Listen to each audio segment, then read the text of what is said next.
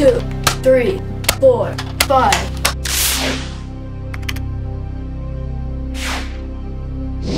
Hey bros, today we've got the Nerf N-Strike Icon Series Spectre Rev 5 blaster. This blaster was originally released in 2013. It was an N-Strike Elite gun and I believe the blaster was blue. Even though it was discontinued, it has been brought back for Nerf's Icon series, where they release old blasters again. And I think they usually put them in this yellow configuration. The front of the box shows that you can use it in six different configurations and it comes with 10 darts. The back of the box shows you some features and another Icon Series blaster, the Longshot CS6. Okay, so let's open it.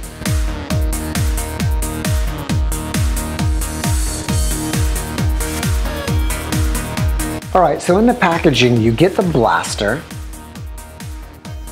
you get a folding stock, you get a barrel extension. You get 10 darts, which are basically N-Strike Elite style darts, but they're yellow and black and they say Icon Series on them. And you get the instructions. So let's talk about this blaster. By itself, it's basically a pistol. Right here you have a tactical rail. In the front you have a barrel attachment point. In the back you have a stock attachment point. Here is your trigger you have a five round cylinder here and here you have a priming slide or handle. And when you prime it, the cylinder rotates. Right here you have a sling attachment point. Right here you have a button and when you press it, you can push out the cylinder to reload. And then you just push it back in. The blasters that have cylinders, I like it how you can push the button and pop it out to reload. I just think it's easier to reload this way. To put the barrel extension on, you just make sure it's on the grooves, push it on and turn it. And to put the stock attachment point on, you just slide it on a point like that. And guys, this is a folding stock, so you can do this as well. And I was hoping that it would have something to hold it closed but it doesn't seem like there is anything to keep it closed or that it would attach to. Anyways, you can run it like that. When you do open it all the way, it kind of has something that it sticks to, so it stays all the way. Unfortunately, you cannot change the length of the stock. So let's go through the configurations. One, two, three, four, five, and six. The configuration that I think looks the coolest is this way. And it probably does pretty well too like that. I don't know if you can slam fire it or not. Maybe. We'll have, to, we'll have to test that out. And I think my second favorite configuration would just be a pistol by itself. All right, bros, to use this blaster, you push the button and get the cylinder out. Load it up. Push it back in. Prime it like this aim, and fire. So let's see if this will slam fire. Nope, it will not. So that's good to know. That actually almost messed up my dart there. So don't attempt slam fire, guys. All right, so next let's go ahead and chrono this thing. 68.7, 68.1, 67.7, 67.4, 71.2. So the low was 67.4, the high was 71.2, and the average was 68.6. Almost 70, and I think that's about what your N-Strike Elite power is. All right, so let's go ahead and field test this blaster. All right, guys, I'm gonna be accuracy testing with this blaster as a rifle and a pistol.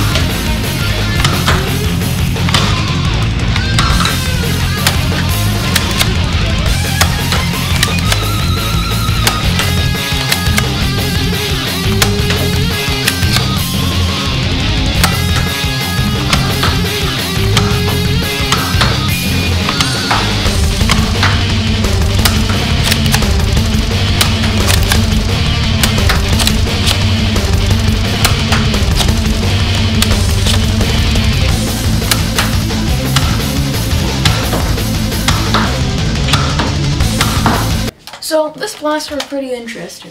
I think it's cool that you can use it as a rifle or a pistol, but the rifle is just not very good, in my opinion. I bet you could get really good with the rifle, like aiming like this, but I can just aim way better when you use it as a pistol. I don't know why. It's just easier. I think this is pretty cool too. All right, bros, now I'm gonna test the range of this blaster by shooting at that garage that's about 60 feet away.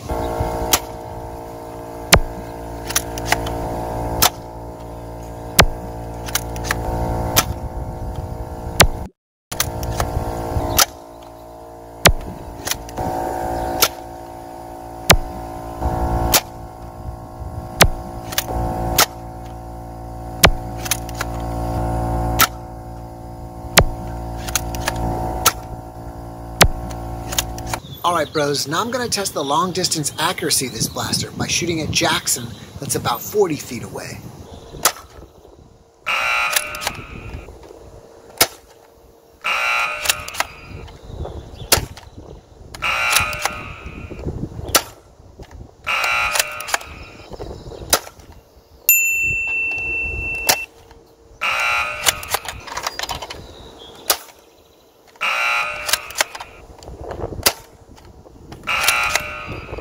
All right, bros, before I give you my final thoughts, I wanna let you know that you can lock the stock in place. There's a little sign here and I think on the inside here that tells you about it. Basically, once you get it into the position that you want, which is open or close, you push it in like that and that locks it into place. And then you've got to pull it back out to move it. And then again, if you want it here, you're gonna have to push it in like that to keep it locked. So here are my final thoughts. Um, I think the blaster performs best as a pistol. I'm not sure if it's just easier to aim with or maybe the dart bounces around in the barrel extension or something, but it appears that the darts fly straighter without the barrel extension it looks a lot cooler when you have the barrel extension and the stock on it. So if you're into collecting old blasters or the Nerf Icon series, or if you want this because you like the coolness factor of it, then I recommend it. If you want it for its performance, then you're gonna use it as a pistol, and I would probably recommend getting the Nerf Strong Arm because it's basically the same thing as a pistol, but it comes with a six cylinder drum instead of a five cylinder drum. All right guys, it's shout out time.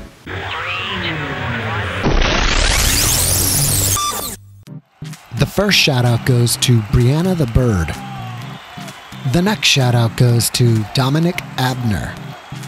The next shout out goes to Mandalorians of Ren, SWBH. The next shout out goes to Peter Mutale. The next shout out goes to Fernando Grebe. The next shout out goes to Dan the Man Productions. The next shout out goes to Sunny Salonga. The next shout out goes to two of four plays. The next shout out goes to Josh Caudill. The next shout out goes to SBSP The Loud House South Park and Lego Ninjago Fanatic 2004. The next shout out goes to Rohan Thompson. The next shout out goes to Henny Wana Kolarina 4UYUW. The next shout out goes to Kunu the next shout out goes to Outdoor Kids. The next shout out goes to Cole Morrison. The next shout out goes to Jaden Doge. The next shout out goes to Chip the Protogen. The next shout out goes to Gabriel's World. The next shout out goes to Summit. The next shout out goes to XD Fire 4 Twitch. The next shout out goes to Just Cole. The next shout out goes to Christian Moray. The next shout out goes to Kenny Dam. The next shout out goes to two of four plays. The next shout out goes to Matthew4907. The next shout out goes to Gaming Matting. The next shout out goes to Abuomar09. The next shout out goes to Snotty Boy. The next shout out goes to JD Vlogs. The next shout out goes to Noob Galaxy 101 Forever Boy. The next shout out goes to Ryder Flips. The next shout out goes to Jaden Flogging 342. The next shout out goes to Tyreek Ricketts. The next shout out goes to Michael Youngies. Hey bros, if you want a shout out, then go to the community tab on our channel and go to the most recent post and type I want a shout out. If you like this video, be sure to hit the like button and share it with your friends. Also, don't forget to subscribe and hit that notifications bell. Be happy, peace out.